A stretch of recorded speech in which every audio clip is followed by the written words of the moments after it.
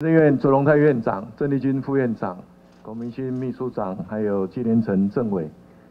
灾害应变中心指挥官刘世芳部长以及各部会首长，应变中心各位同仁，全国父老乡亲，大家早。凯米台风是今年第一个进入台湾的台风，我非常感谢刘世芳部长啊，跟地方的首长在第一时间都依法。迅速的开设应变指挥中心，而且都是以最严格的态度来面对这次的台风，都是一起开设。那第二个，我要感谢卓院长，啊，特别昨天特别到应应变中心来，跟七个县市长跟代表来做直接的视讯对话，啊，我相信这个对地方的鼓励应该有很大的作用。那，第三点是。我刚刚听到各组的这个报告，啊，可以清楚感受得到，也可以非常明显的看得到大家的努力跟用心，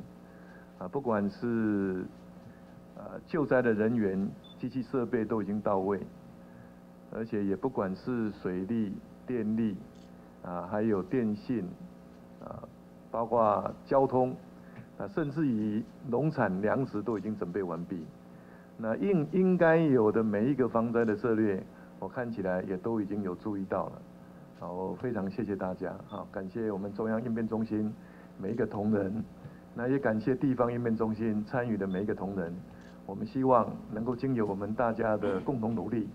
将这次的灾害能够降到最低。但是因为非常重要，虽然我刚刚看到你们都已经有注意到，那也已经有。有做准备，但是因为重要啊，我在这里再次提醒几点。第一点是因为零四零三的地震呐，会造成这个更容易发生土石流，所以我希望我们应变中心能够跟地方的应变中心共同合作，在全国土石流的浅示地区，应该要撤离的民众啊，应该都要尽速撤离，啊，避免因为零四零三地震之后。再加上庞大的雨量，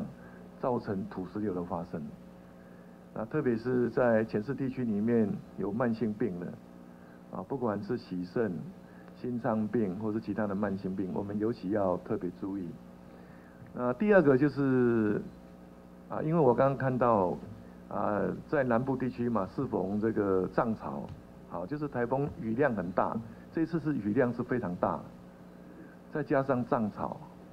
在这种状况下，低洼地区也非常，我们要非常关注。除了我们已经准备了抽水站、抽水机，然后人员要到齐以外，也应该要更严格的标准，预先撤离，啊，预先撤离。那第三点是，刚刚院长刚刚也有已经提到了哈，就是因为雨量大，所以水库的管理单位要特别小心。应该要预先啊，这个泄洪，这个啊，这个水库啊，应该要放水就应该要放，就应该要预预防性的啊，水库的这个放水应该要事先做，否则当然水是非常珍贵，所以我们一年到头常常经历旱灾的这个情况，所以对水资源都很珍惜啊。所以在面临这个情况的时候，也许我们会会会基于珍惜水资源的立场，态度会相对保守。但是现在的气象组的气象预测应该都非常精准啊，所以我们刚刚我有看到几个水库都已经有做预防性的这个啊放水的这个动作，但是再检讨一下有没有其他的水库也需要。那否则的话，雨量加上如果说泄洪之后，哦，那个水量会非常大，会造成很大的伤害。那另外一点就是，呃，这个台风发生的时候，雨量最大的时候刚好是今天晚上，啊，一直到明天清晨这段时间。所以我希望啊，哈，啊，这个我们这个我们这个放假应该有包括晚上吧，啊，因为有时候 地方政府下达的命令放假是白天。但是我们要 cover 到晚上，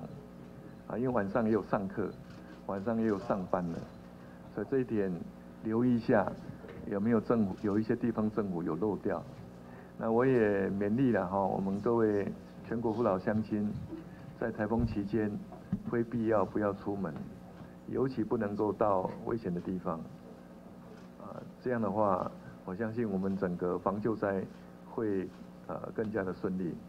当然，我也希望哈，我们全体不管中央或地方参与防救灾工作的各位同仁，也能够注意安全，啊，也能够注意安全，安全第一，啊，安全第一。好，谢谢大家，我们继续努力，好，谢谢。